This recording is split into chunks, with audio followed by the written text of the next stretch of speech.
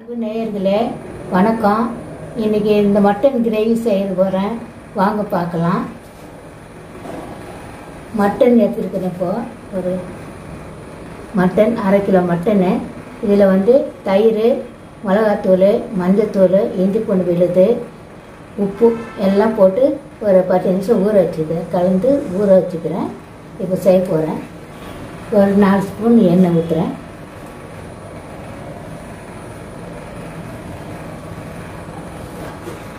பட்டை ஸ்டாரு இது மாதிரி கிராம்பு ஏலக்காய் பிரியாணி இலை. இதெல்லாம் போ எண்ணெயில் போட போகிறேன் பட்டை ரெண்டு ஸ்பூன். ஸ்டாரு கிராம்பு ஒரு மூணு. ஏலக்காய் ஒரு ரெண்டு. பிரியாணி இலை. ஒரு நாலு வெங்காயம் போடுறேன்.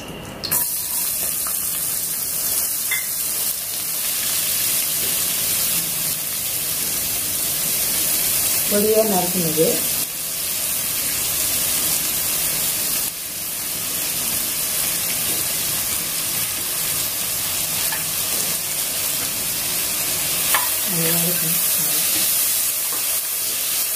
உப்பு கொஞ்சம் போட்டால் நல்லா வதங்கிடும்.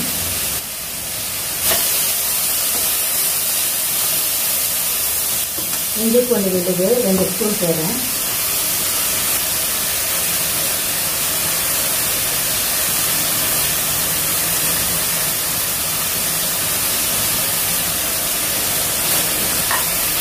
அதையும் வதக்கணும் நல்லா.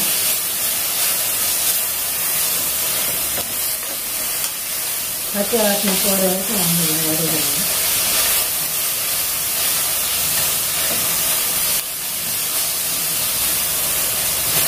புதினா ஒரு கைப்பிடி கொத்தமல்லி ஒரு கைப்பிடி போடணும்.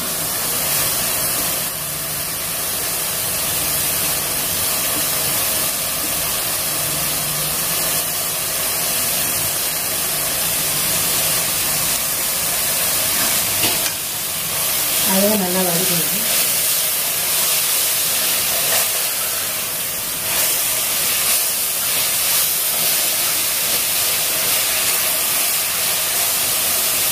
நாலு தக்காளி பொடியாக நறுக்கணும்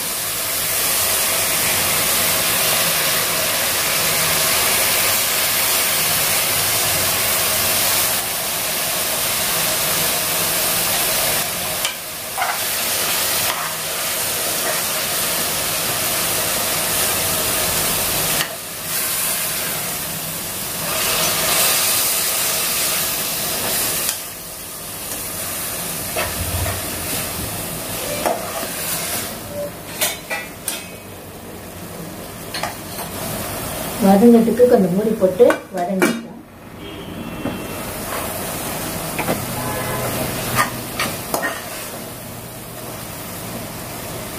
ஒரு ரெண்டு ஸ்பூன் தயிர் போடுறேன்.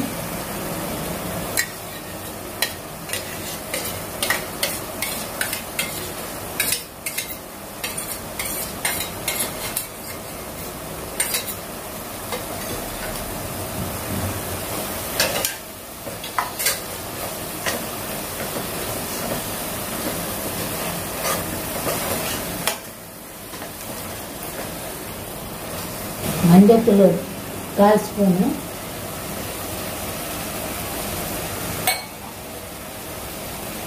லவங்கப்பொடி ஒரு கால் ஸ்பூனு. பட்டைத்தூள் ஒரு கால் ஸ்பூனு.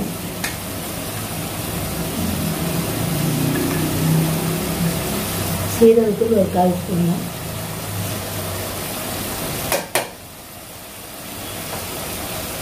சோம்புத்தூள் ஒரு அரை ஸ்பூன் போட்டேன்.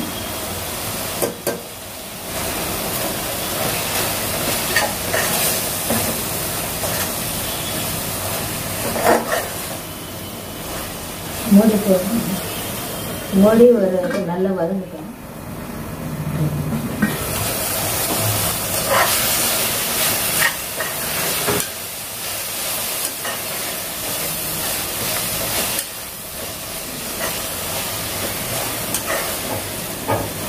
ஊற வச்ச மட்டனை இப்போ இதில் போட்டு வதக்குறேன்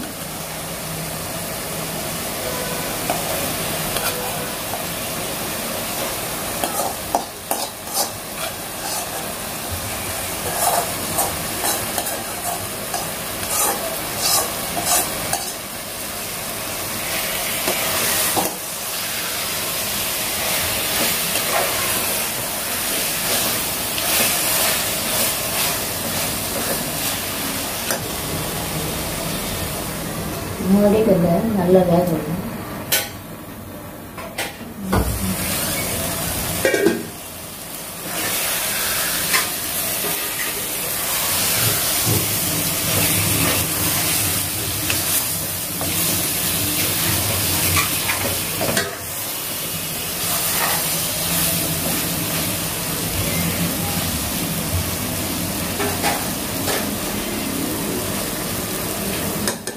வதக்கிட்டு கொஞ்சம் தண்ணி ஊற்றி வேக வச்சிடலாம்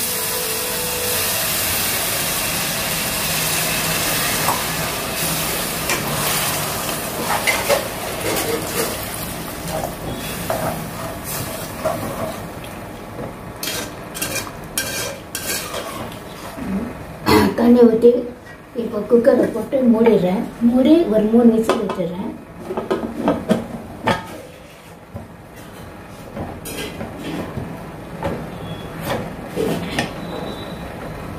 குக்கர் மூணு மூட்டு விசிலுக்கு மூடி மூணு விசில் வந்தோன்னே எசில் இறக்கிடலாம்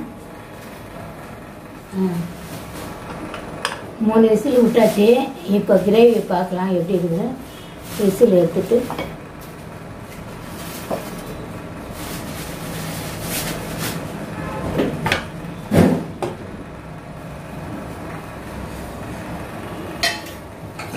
இதை கொஞ்சம் கொதிக்க வச்சுருக்கேன்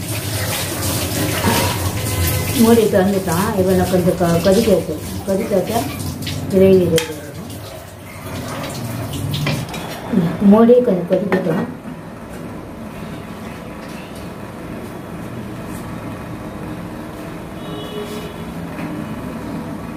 இப்போ குழம்பு கொதிக்குது. மூடி திறந்து பார்க்கலாமா?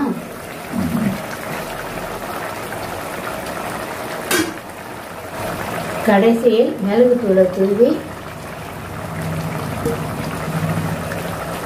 மிளகுத்தூளை தூவணும் கடைசியில் எப்படி? கொத்தமல்லி கடைசியில் தூவி வரைக்கும்